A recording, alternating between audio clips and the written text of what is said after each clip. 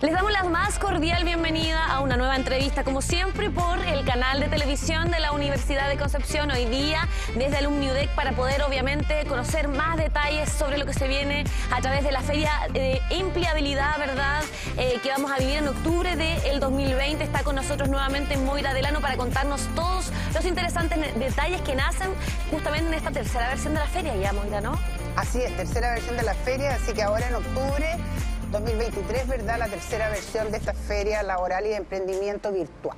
Así es. Importante reconocer también eh, el tema virtual, que se abre la opción de que nos sigan a través de todo Chile y por qué no el mundo, ¿no? Tenemos también a un invitado, invitado que se suma justamente a esta conversación. Él es Isaúl Parra Pirar, director general de Relaciones Institucionales de la Universidad del Biobío. Un placer también tenerte en esta instancia para conocer detalles de cómo es que la Universidad del Biobío también se vincula con ferias como esta.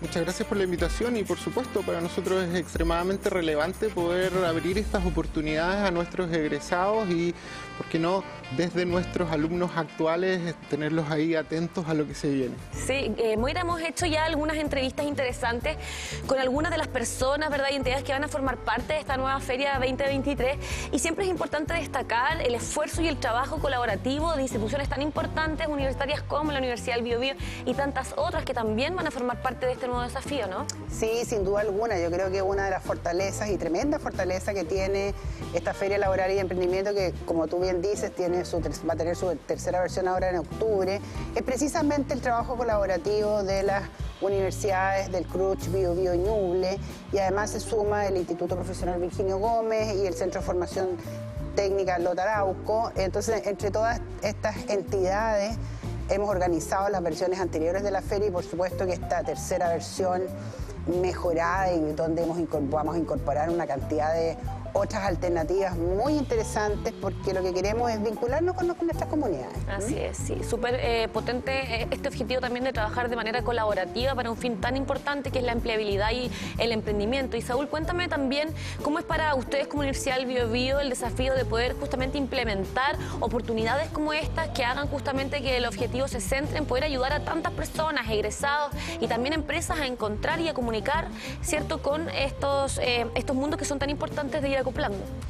Bueno, sí, es extremadamente relevante un poco por las dificultades de empleabilidad que tienen nuestros y nuestras estudiantes, pero en el fondo el, rol que cumplimos es de conectarlos. Nosotros somos quienes permitimos que las empresas de la región y los y las exalumnos de nuestras universidades e institutos profesionales, ¿verdad?, eh, puedan eh, conocerse entre ellos y acceder mutuamente a, esas ofertas laborales eh, que para ambos son extremadamente relevantes. O sea, las empresas andan buscando personas idóneas para las necesidades que tienen, ¿no es cierto? Y, nuestros, y nuestras estudiantes están ahí expectantes en la búsqueda precisamente de esas oportunidades. Por lo tanto, la labor que nosotros cumplimos es vital en, este, como, como agentes eh, de conexión entre estos dos eh, mundos, ¿no es cierto? Y, quisiera hacer una especial mención a la relevancia del emprendimiento. Hoy en día eh, la empleabilidad tradicional tradicional de salir al mundo a, lanzar currículums ya está casi que un poquito obsoleta, ¿no es cierto? O, incluso salir a buscar trabajo en el diario ya no es algo que se hace. Entonces esto, eh, la feria que sea online es extremadamente relevante. La pandemia nos dejó de herencia eh, esta necesidad de hiperconectarnos eh, entre nosotros y con el mundo. Sí, lo hemos hablado también en otras oportunidades, Moira, en estos capítulos donde justamente queremos relevar la importancia de estas ferias de empleabilidad y emprendimiento y es súper necesario también eh, entregar esa cercanía de cómo han sido las versiones anteriores y, hoy día este condimento que está más fuerte ¿no? y sólido aún, que es la virtualidad, como bien decimos, esta necesidad de conectarnos y, y esta amplia posibilidad de a través de la virtualidad poder acceder a que nos vea gente de Osorno, que pueda también conectarse personas de Santiago, como las invitadas que tuvimos la semana pasada, y también de manera universal incluso, ¿no? Claro, la semana pasada conversamos con una super aliada, ¿verdad? Argentina, que estaba desde Buenos Aires. Exacto.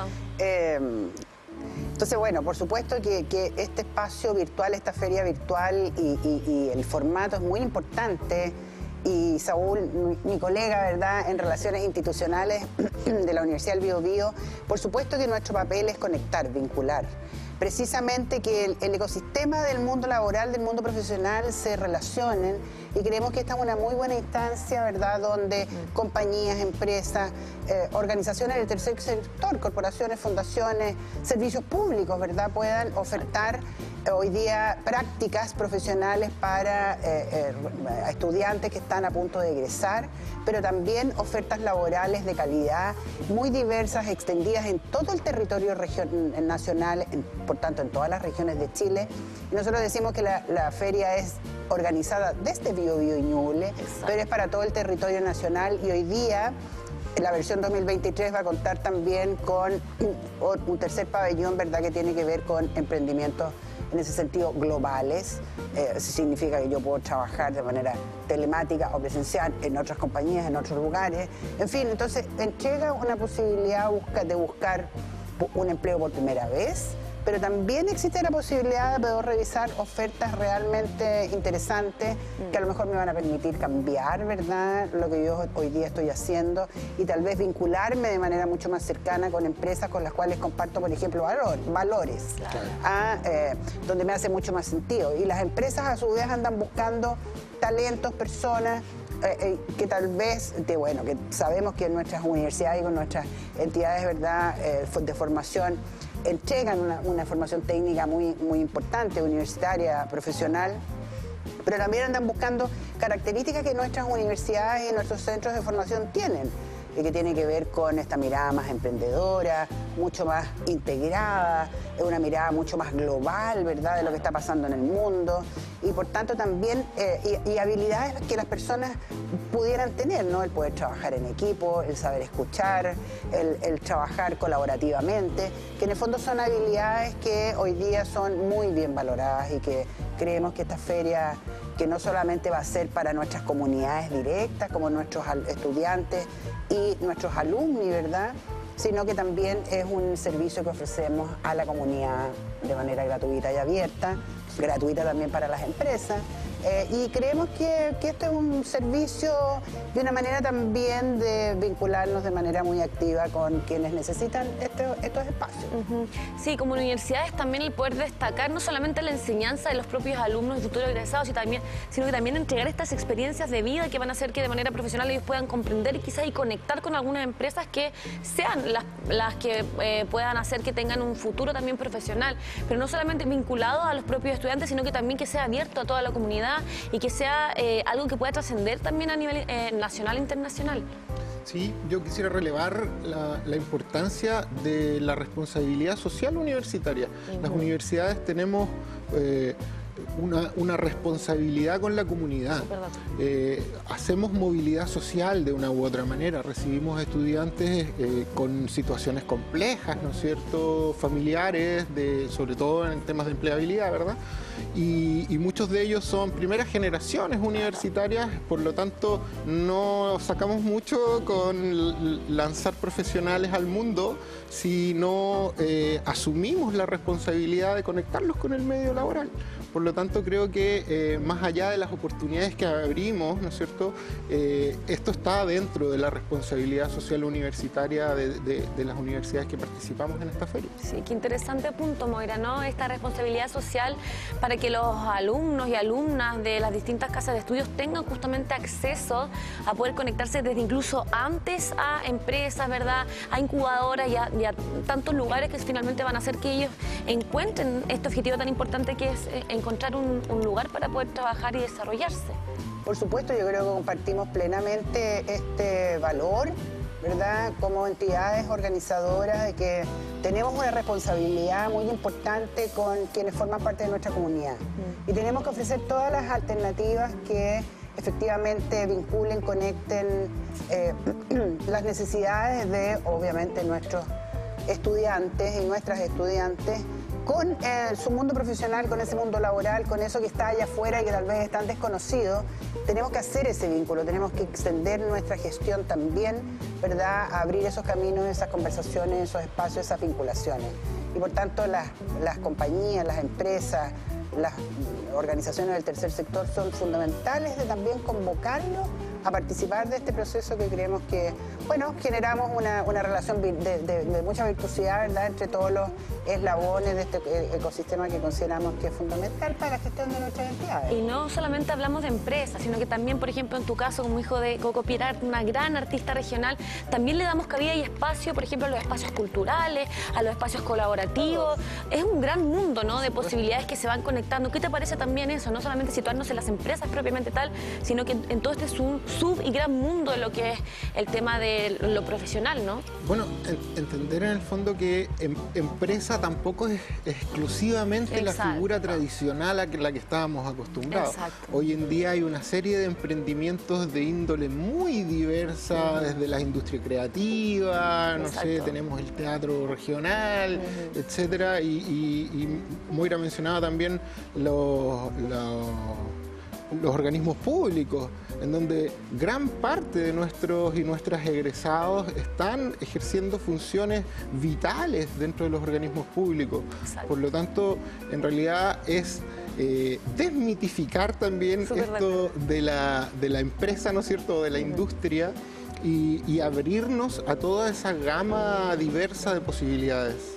Sí, empleabilidad en, su mayor, digamos, su mayor expresión como término también y emprendimiento. También hablamos de tantos emprendedores que hay en la región del Biobío. Hemos conocido a más de 200, por ejemplo, en nuestro programa de la mañana. ¿Cuál es la importancia también de poder potenciar a los emprendedores a través de una feria tan eh, positiva como esta que nace desde, estas distintas casas de estudio? Creemos que la, feria también tiene que ser una plataforma, decimos nosotros, ¿verdad? Para poder visibilizar eh, todos estos emprendimientos y bueno, las experiencias y poder compartir las experiencias que esas emprendedoras y emprendedores han tenido. En los niveles, en los distintos niveles de desarrollo, poder compartir experiencias, nosotros decimos que el compartir experiencias, el compartir cómo han hecho su ruta, el compartir, ¿verdad?, dónde han buscado financiamiento, con quiénes se han relacionado, qué no les ha resultado, claro. Eh, cómo han logrado sortear cientos de dificultades que no se encuentran en el camino. Mm. Creemos que todas esas experiencias son muy relevantes precisamente para...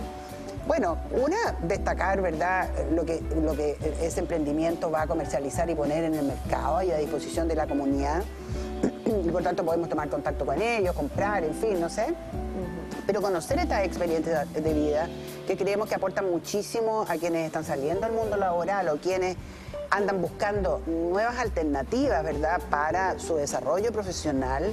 Eh, también mirar estas experiencias porque ahí también eh, bueno, uno descubre que hay otros mundos ¿no? a los cuales las personas pueden acceder y, creemos que ese es un valor sumamente importante y, a propósito de esa responsabilidad universitaria, esto también es parte de ese ejercicio ¿eh? Eh, y queremos que sea algo permanente, siempre colaborativo, de sumar a cada vez más actores porque creemos que esto es un tema muy transversal y que, que sirve para todas las entidades y para todos los involucrados de manera muy positiva. Así que estamos muy contentos con, con lo que hemos logrado hasta ahora y nuestra feria ya está instalada como una marca a nivel nacional y eso también es muy destacable y esperamos entonces con esta nueva versión, con estas vinculaciones, ¿verdad? Con, compañías internacionales, precisamente generar esa internacionalización y, este tema eh, transversal y global y habla Isabel, ¿verdad? Hoy día de estar muy conectados, ¿no? Y conectados al mundo del desarrollo profesional, bueno, claro que es central para nuestras tareas. Claro, y también hay mucha gente que nos ve desde la región del Ñuble, por ejemplo, el poder descentralizar, el poder dar una oportunidad más allá a través de justamente lo virtual y de estos canales que hacen comprender que Chile no es solamente Santiago ni eh, Concepción, ¿no? Sino que también poder acceder a eh, formar parte de una feria como esta a todas las personas desde otros lugares incluso. Sí, bueno, nuestras universidades, Universidad de Concepción, Universidad del Biobío, eh, no sé si son somos las únicas, pero creo que de las pocas birregionales del país. Por lo tanto, eh, tenemos ahí también un impacto importante en los territorios. y, quiero instalar otro tema que es, en el fondo la diversidad y la flexibilidad y el dinamismo de los mercados creo que hoy en día no podemos quedarnos con lo habitual, con lo tradicional, sino que tenemos que estar ahí en el tope punta de lanza, eh, asumiendo y conociendo estos mundos diversos y cambiantes. Hoy en día, eh, incorporaciones de la tecnología como la inteligencia artificial nos han movido el piso, ¿no es cierto? Nos han remecido la mesa y nos han llamado a estar atentos, estar muy atentos porque eh, se dice que hay profesiones que podrían empezar a correr cierto riesgo en su empleabilidad por ser reemplazados por la inteligencia artificial. Por lo tanto, estamos siendo llamados también a estar muy, muy atentos con lo que está pasando en el medio y adaptarnos. Sí. Que no se este adapta Exactamente, va quedando atrás. Exacto. ¿Cómo se va entendiendo también este proceso, Moira, de, como bien dice, ir reinventándonos constantemente como feria, como universidad? ¿Cómo se visualizaron, por ejemplo, las jornadas eh, anteriores, verdad, los años anteriores? ¿Y cómo ves también el esfuerzo y todo lo que ha ido significativamente pasando con respecto a los años anteriores a lo que se viene en esta apuesta del año 2023? Bueno, yo diría que hemos ido estrechando lazos, ¿verdad? Y trabajo colaborativo con muchas empresas, muchas compañías, muchas fundaciones, muchas entidades del tercer sector, también con el servicio público. La idea de mirar en este espacio un espacio colaborativo donde todos nos beneficiamos y concuerdo que en tiempos de incertidumbre como estos, estos son espacios que dan certidumbre de cosas. porque, porque tengo una gran oferta, porque tengo diversidad, porque puedo dialogar con otros, porque puedo conocer ¿sí? Eh, el mundo, la escena. Eh, y las escenas son muy cambiantes y es cierto, y las personas tenemos que estar eh, mirando y, conociendo ¿verdad? lo que está en nuestro entorno y creemos que este, que es un encuentro que hacemos una vez al año por tres días, concentra precisamente la energía de muchas personas en vincularse en ese espacio, porque si bien durante todo el año hay talleres, hay conversatorios, hay seminarios, tenemos bolsas de empleo que cualquier persona pudiera visitar, en fin, prácticas profesionales que se ofrecen. Eh, tal vez eso no sería suficiente o no, no, está siendo suficiente de manera tradicional y queremos que este espacio de intercambio, de mucha conversación, de mucho dinamismo, de mucha ah, vinculación permanente, en fin, y de manera virtual, eh, ha generado, eh, bueno, muy buenos frutos. Sí, bueno, dentro de lo que va a ser la jornada inaugural, cabe la pregunta que es como el eslogan, ¿no? Que tiene que ver, ¿cómo desarrollar mi idea desde cero? ¿Cuál es la importancia de tener, por ejemplo, este encabezado o esta pregunta para aquellas personas que van a formar parte también de estas charlas, ¿verdad? Y de todo lo que se viene en esta feria de empleabilidad y emprendimiento. Bueno, es que el estudiante cuando egresa está como en cero, ¿no es cierto? Se, lanza al mundo y tiene que comenzar todo de nuevo. Por lo tanto, eh, lo, que, lo que vendríamos a hacer es un poco ser facilitadores de ese nuevo inicio, para ayudarlos a insertarse en algo que para ellos de momento es desconocido, ¿cierto? Por, lo tanto, eh, nuevamente relevar la función que cumplimos, ¿no es cierto? Conectando y también formando a estos nuevos profesionales que salen como decíamos, a un medio súper cambiante y dinámico, por lo tanto tienen que estar también eh, en una permanente actualización. No, no basta con haber estudiado una carrera de pregrado y 10 años después ya te fuiste quedando un poco obsoleto. Entonces la formación continua, el perfeccionamiento, es algo que se hace absolutamente vital, porque como tú dices, eh, es partir de cero, es partir de cero. Por lo tanto, es una misión compleja, súper compleja. ¿Y, cómo desarrollar mi idea desde cero cuando vemos también a mucha gente probablemente descontenta con sus trabajos y poder dar esta oportunidad a través de instancias como esta a partir desde cero, ¿no? A decir, oye, quiero eh, iniciar eh, mi vida con un desafío distinto. Atreverse a partir desde cero también. Una y mil veces si es necesario. Por supuesto. y la idea aquí es que, bueno, hay talleres, hay cursos, hay conversatorios donde precisamente se abordan estos temas. Claro. Cómo partir de cero, qué tengo que hacer, dónde está ese espacio. Eh, y, en el fondo eh, ir superando esa incertidumbre, ¿verdad? Con certidumbres de temas que tienen que ver con las experiencias de otras personas, con compañías que me ofrecen empleos de determinada naturaleza, eh, ampliar mi horizonte, ¿verdad? Porque yo a lo mejor pienso que solamente puedo trabajar en este espacio, cuando en realidad hoy día hay una diversidad tremenda y, muy amplia y que desconozco. Bueno, un poco la idea entonces es poder mostrar esa diversidad y poder decir, bueno, aquí hay un conjunto de cosas que se pueden hacer, ¿verdad? Y usted está invitado, invitado para ser protagonista de este espacio. Sí, uno de los temas que también nos preocupan y nos ocupan como medio de comunicación es la inclusión. ¿Qué tan importante es poder tener temas que tienen que ver con la inclusión laboral, prácticas inclusivas dentro de este contexto? O sea, es vital. Hoy en día no solo es relevante, sino que es un mandato. Eh, tenemos la responsabilidad de asumir la inclusión en su amplio espectro, por supuesto. Eh, pero quisiera retomar un tema que tocaste un poquito antes, que es eh, que no todo es éxito en el mundo laboral. Exacto. Y, los, fracasos o los errores, ¿no es cierto?, también forjan en los estudiantes la resiliencia. Y es algo a lo que nosotros también estamos invitados a, a enseñarles que no todo afuera es éxito y que es muy probable que tengas malas experiencias también y la idea es que puedas aprender de ellas. De manera de que puedas eh, reinventarte todas las veces que sean necesarias y, en el fondo estar dispuesto a ello. Eh, pero la inclusión es un tema extremadamente eh, actual y que nos tiene a todos súper atentos porque siento que es una responsabilidad, una deuda, una deuda de las sociedades en general, ¿ah? no es una deuda chilena, es una deuda global, cultural e histórica. Por lo tanto, eh, es algo que debemos sí o sí asumir. No hay, no hay manera de, evadirlo. Todos tenemos derecho a trabajar, a ser independientes, ¿verdad? Y qué mejor entonces que conectar también estos temas en relación a la inclusión. Por supuesto, este, este es una de las, de las características y de los sellos que tiene la Feria Laboral y de Emprendimiento, que es inclusiva.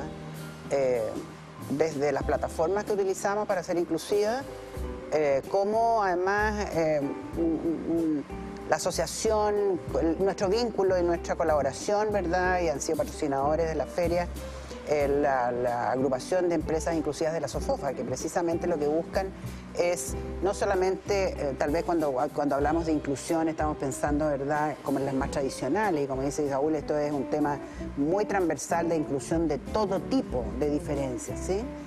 Eh, y que es parte de nuestras políticas institucionales y, creemos que es una gran oportunidad precisamente mm. para vincular a todas las personas y a todas las entidades que requieran ser vinculadas.